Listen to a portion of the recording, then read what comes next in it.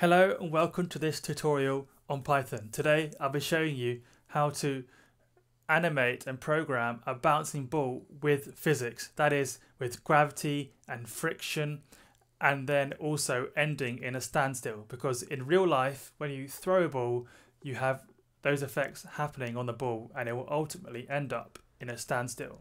Now this is a part two of a previous tutorial I did on a bouncing ball which had no physics whatsoever, so it just kept going on and on, bouncing around the screen forever and ever. I will also do a part three where we can sort of bend the physics slightly with magnetism, but that will be coming up later.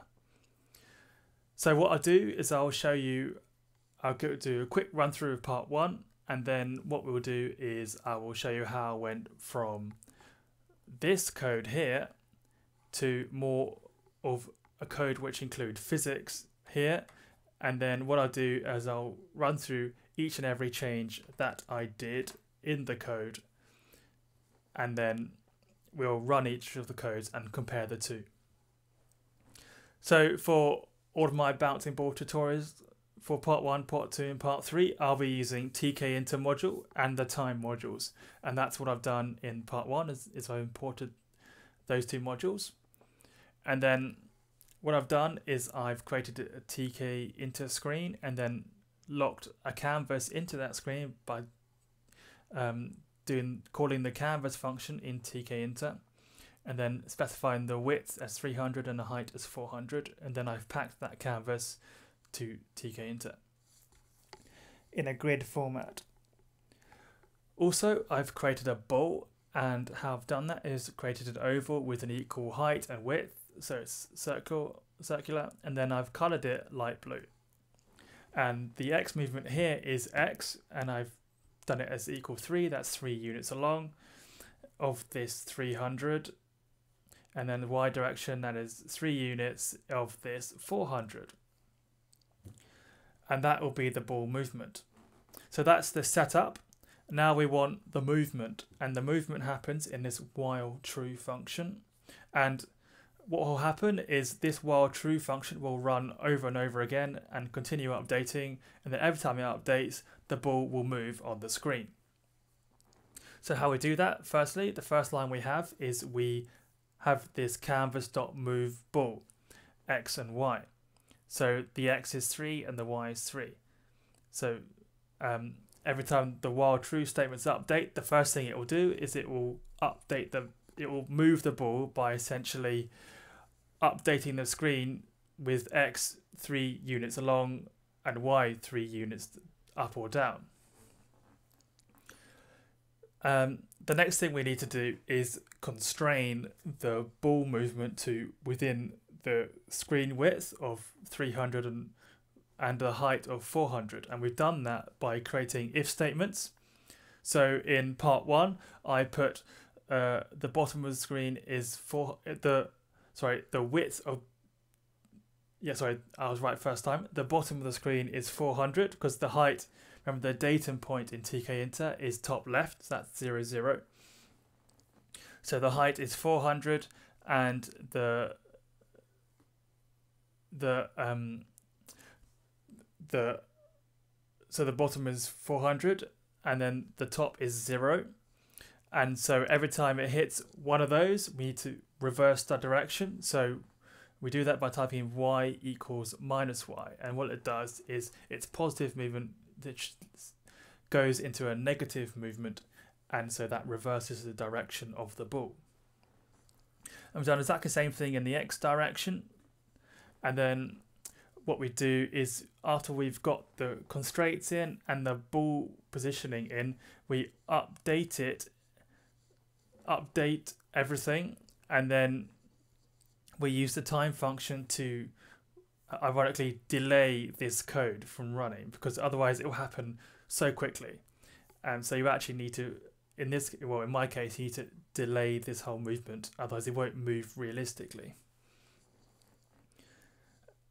And so what we have here is the whole while function. You will have the ball position updating and the if statements updating, the constraints updating, so that the ball will just continually move around in this sort of box on the screen. And so if we run it, we will see exactly that. you will see this ball here moving around on the screen. And it will move forever and ever. So next thing we'll do is you've got to go from that to this. You see, that's sort of more of a bouncy motion. And there's various things to consider here. But firstly, I will talk you through the sort of the first set of differences that I did, and then we'll go into the physics and how I applied those, and then we'll run it again with everything in it. Because at the moment I've taken a few things out. So first thing I did was I split up this if statement. So you notice we've got two here. And if I go to this statement, we have four here. So that is the first major change that I did. And also I've changed the movement from X to DX. It just made more sense to me because in my mind DX is more of a directional movement in X rather than X being in my mind which is just a coordinate. Okay, and then also what I did is I, instead of having 300 here and 400 here as the width and height, I put W and H. And so I reference that here in my positioning. So position 3 is greater than 400. It's exactly the same as position 3 is greater than or equal to H. I just, this is slightly different. It's just little nuance. Also, here I've put y is equal to minus y, I've just done dy is times by minus 1. Does exactly the same thing. So at the moment, I've just, I've it looks slightly different, but at the moment, it's just, what I've said is, is just changes that doesn't change the actual movement of the ball. It's a changes that I've done to make it look, make it easy to understand and easier to read, even though it's a bit longer. I've also put r as the radius, I've separated r out as a variable as well. So all these changes do nothing to the movement of the ball, they just change how the code is written. So if we move on to, now if we move on to how I've included the physics, the first thing we do is, what I did was I just focused on the y direction. So if we have movement in the y direction, and then what I did was I added gravity. And how I did that was I put a variable in gravity equals 0.7. And then down here, I've put dy plus or minus the gravity um, value. So what that does is every time this while function updates, this 0.7 will be applied. So remember how if it bounces up, it's the y value will be negative. So if you add gravity every time, gravity will be acting against the ball every time. And it'll be acting going up and it'll be acting with the ball going down. So if we run that, you will see that the ball will ever so slowly have a smaller bounce every time. So just look in the y direction at the moment, you see that the ball is bouncing lower and lower every time. You see that? It's very minor because I put it as a small value. And what you'll see here is when the ball bounce gets smaller, it will bounce more frequently, which is what is expected in real life. Exactly, because that's what happens in real life but then you will see a problem start to appear when it gets to should be a standstill. There. You see that? It's now disappearing off the screen. So we need to resolve that. But at the moment the y direction is is looking good okay? What I'm going to do is I'm going to resolve that issue later on because it also happens in the x direction. So at the moment I'm happy with the y direction and so the next thing you do is we need to include some, you need to look at the X movement. So gravity acts in the y direction, uh, but friction also acts in the x direction. So what I've done here is I have done what I had previously is x equals minus x or dx equals minus dx, which would be the part 2 equivalent, and then I've multiplied that by friction, which is a new variable I've created here. So we have gravity in the y direction and we have friction in the x direction. But the difference is the friction is not continually acting on the ball. Friction only occurs if it hits the sides of the wall. So that's why I've only added it to um, the x direction.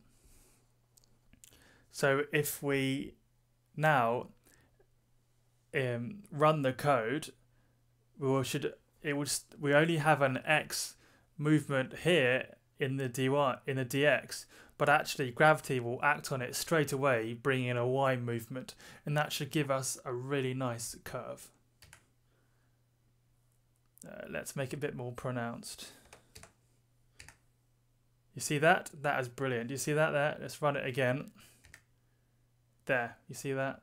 That is the curve we're looking for. So I'm quite happy with that. So we've got our curve in the x direction with friction, and we've got our gravity acting in the y direction. So if we have them both there, so it's fine. Look at that, see, it's looking really like a ball how you'd expect a ball to move. Now, the problem comes when now the ball gets close to a standstill.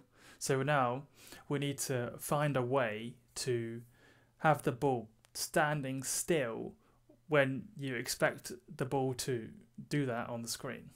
So as we can see here, and then we will probably get a few problems. There we go. You see, we don't want that. So now we need to include a function which gets rid of that. And I have done that by creating a new if statement here. So what I've done here, how I found this problem and found this value here is I included print checks through each of those positioning. So, and then I ran this on the screen here on the right, my output. And these errors appear on the output because I've closed tkinter in a way that Anaconda doesn't like. It's nothing to be worried about. Um, so yeah, just I love doing print checks and um, I, I can't rate them enough.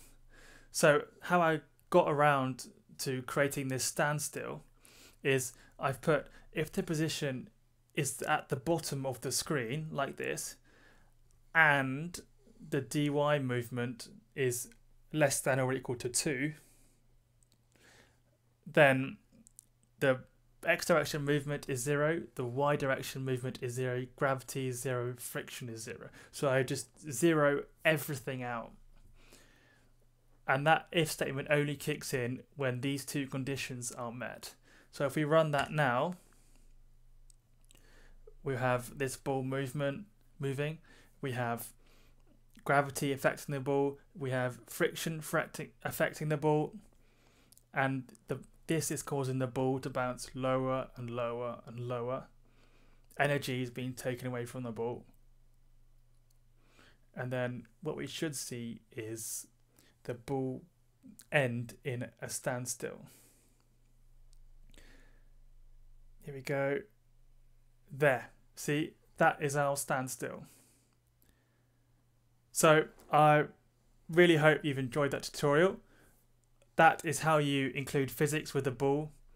Check out my other tutorials and if you want some reminder on part one then feel free to check that out as well. I will be doing a part three later on but I really hope you've enjoyed that and subscribe to my channel and yeah hope to hear from you soon. Thanks very much for watching. Thank you.